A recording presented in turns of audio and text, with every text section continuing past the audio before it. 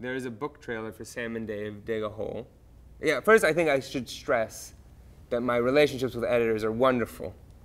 And then I would also acknowledge that there is a book trailer for a book called Sam and Dave Dig a Hole, in which Jon Klassen does throw dirt all over me.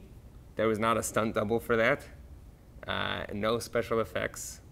That's something that actually happened, and I'm still not over it.